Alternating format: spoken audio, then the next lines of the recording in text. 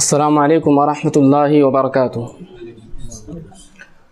अलहमदिल्ला कफ़ा वसलामबादीन अस्तफ़ा अम्माबाद महतरम दीनी व इस्लामी भाइयों नौजवान साथियों बुज़ुर्गों फ़रज़ और वाजिबात के बाद अल्लाह रब्बुल को जो आमाल और जो इबादतें सबसे ज़्यादा पसंद हैं महबूब हैं वो नवाफिल हैं आज के इस दर्स में इंशाअज़ीज़ मैं आपके सामने नवाफिल के जो फ़ायदे हैं, उनमें से पाँच फ़ायदों को ज़िक्र करूँगा। इस दुआ के साथ कि अल्लाह ताला हमें जो है उस पर अमल की तोफ़ी अता फ़रमाए। मेरे भाइयों, नवाफिल का सबसे पहला जो फ़ायदा है, वो ये है कि नफली इबादतों के ज़रिए से बंदे को अल्लाह रब्बुल का तकर्रुब और उसकी मोहब्बत नसीब होती है। बंदे को अल्लाह तबारक व ताली के यहाँ ख़ास मकाम, यानी वो आम से ख़ास हो जाता है। उसको ख़ास मकाम हासिल हो जाता है। इसको हम देखते हैं हदीस के ज़रिए से। एक हदीस है जिसमें नबी करीम सल्लल्लाहु अलैहि वसल्लम ने फरमाया, हदीस कुदसी है। अल्लाह के नबी सल्लल्लाहु अलैहि वसल्लम कहते हैं कि अल्लाह रब्बुल इज़्ज़त फरमाता है, वमा तकर्रब इलैया अब्दी बिशइन अहब इलमफ़रतु अलई कि जिन चीज़ों के ज़रिए से मेरा बंदा मेरे करीब होता है, उसको मेरा तकर्रब हासिल होता है, उनमें सबसे ज़्यादा चीज़ जो मुझको पसंद है, वो फ़रज़ और वाजिबात हैं।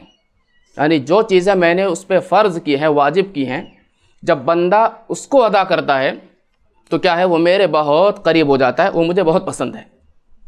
वमा यज़ाल अब्दी यतक़र्रब इलैया बिन नवाफिली हत्ता उहिब्बहु फ़र्ज़ को अदा करने के बाद बंदा नवाफिल नफली इबादतों के ज़रिए से मेरे करीब होते रहता है होते रहता है होते रहता है करीब होते रहता है करीब आते रहता है यहाँ तक कि मैं उससे मोहब्बत करने लगता हूँ। फ़ैज़ा अहबब तो कि मैं उससे इतना मोहब्बत करता हूँ और वो मेरे इतना करीब हो जाता है कि मैं उसका कान बन जाता हूँ जिससे वो सुनता है। मैं उसकी आँख बन जाता हूँ जिससे वो देखता है। मैं उसका हाथ बन जाता हूँ जिससे वो पकड़ता है। और मैं उसका पैर बन जाता हूँ जिससे वो चलता है। यानी उसके जिस्म के हर आज़ा को अल्लाह रब्बुल इज़्ज़त बुराई से बचा देता है और सिर्फ़ और सिर्फ़ नेकी की तोफ़ीक देता है। वो अपने कान के ज़रिए से वही सुनता है जो अल्लाह को पसंद होता है। फिर वो अपने आँख के ज़रिए से वही देखता है जो अल्लाह रब्बुल इज़्ज़त को पसंद है। फिर वो अपने हाथ के ज़रिए से वही पकड़ता है जो अल्लाह को महबूब होता है। फिर वो अपने पैर के ज़रिए से उसी चीज़ की तरफ़ चल के जाता है, जो अल्लाह रब्बुल इज़्ज़त को खुश करने वाली और अल्लाह को क्या है, राज़ी करने वाली चीज़ होती है। और वह मुस्तजाबुद्दावात बन जाता है। फिर वो अल्लाह ताला से जो माँगता, अल्लाह ताला कहता है, मैं उसको अता करता हूँ। वो जिस चीज़ से पनाह माँगता है, किसी मुसीबत से, किसी बुराई से, किसी बीमारी से तो अल्लाह ताला कहता है, मैं उसको अपनी पनाह में लेता हूँ, उस बुराई से, उस मुसीबत से। ये कब है? कि फ़र्ज़ के बाद, फ़र्ज़ के साथ ऐसा नहीं कि सिर्फ़ नफिल। यानी फ़र्ज़ के साथ साथ जब बंदे की ज़िंदगी में नवाफिल का अहतमाम होता है तो सोचिए उसको अल्लाह रब्बुल्ज़त के यहाँ ये मकाम हासिल होता है। ये मकाम मुस्तजाबुद्दावात हो जाता है, उसकी दुआएँ क्या है, रद्द नहीं की जाती, कबूल हो जाती हैं। तो यह पहला फ़ायदा है। और दूसरा फ़ायदा यह है कि मेरे भाइयों, कल क़यामत के दिन जब हम बंदों के आमाल को अल्लाह रब्बुल्ज़त तोलेगा ना तो वहाँ क्या है, अल्लाह रब्बुल्ज़त का एक ज़ाब्त कानून होगा। एक हदीस है जिसमें नबी करीम सलाम फरमाते बड़ी हदीस है कि जब अल्लाह रब्बुल इज़्ज़त बंदे के फ़र्ज़ आमाल को तोलेगा, अल्लाह के नबी ने वहाँ नमाज़ की मिसाल दी कि सबसे पहले नमाज़ का मुहासिबा होगा, जिसकी नमाज़ सही निकल गई, वो कामयाब, जिसकी नमाज़ सही नहीं निकली, नमाज़ में फसाद बिगाड़ रहा, वो नाकाम हो जाएगा। फिर अल्लाह के नबी से फरमाते हैं कि अल्लाह रब्बुल इज़्ज़त फिर एक उसूल अपनाएगा। वो उसूल क्या है? फ़ैन तकसा मिन फ़रीज़त ही शैन नबी करीम सलाम फरमाते हैं कि, फ़र अल्लाह रब्बुल इज़्ज़त क्या करेगा? उसके फ़रज़ में, फ़र्ज़ आमाल में जो कमी होगी हाँ उसको अल्लाह ताला क्या करेगा? पूरा करेगा। कैसे?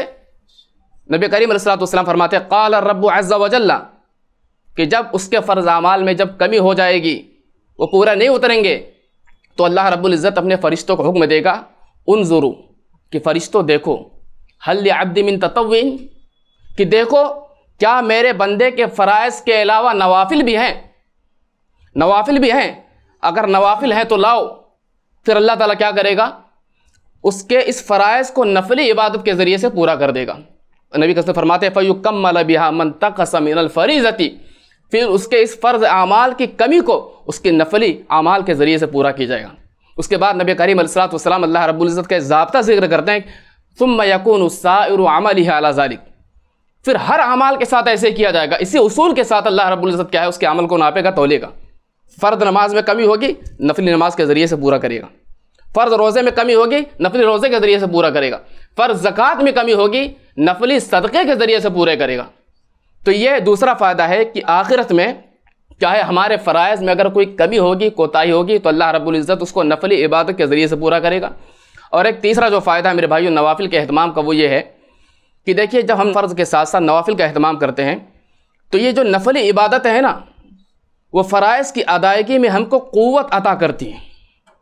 इंसान जब नवाफिल का अहतमाम करता है तो दोहरी क़वत के साथ क्या है? फ़रज़ का अहतमाम करता है। इसीलिए आप देखें कि नबी करीम सलाम को जब अल्लाह रब्ज़त ने नबूत अता की और आपके ज़िम्मे ये दिया कि आप लोगों को तबलीग कीजिए, आपकी ज़िम्मेदारी है तो क्या कहा? कुमिल कलीला। नबी करीम सल्लल्लाहु अलैहि वसल्लम, आप रात को ताजुब का अहतमाम कीजिए। इसलिए कि आपके सर पर, आपके कंधे पर बहुत बड़ी ज़िम्मेदारी। क्यों? ताकि आप जब अहतमाम करेंगे नवाफिल का तहजद का तो आपके अंदर मजबूती पैदा होगी। आपके अंदर मजबूती आएगी, क़वत आएगी।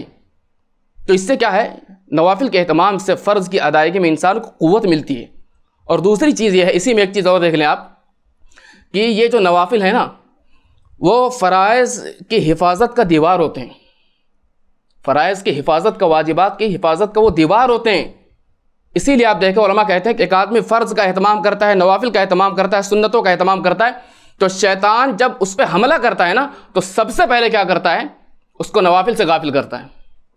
फिर सुन्नतों से गाफिल करता है। फिर उसके बाद उसके वाजिबात पर और फ़रज़ पर हमला करता है। तो ये जो नवाफिल है ना, वो फ़रज़ की हिफाजत का दीवार भी होते हैं।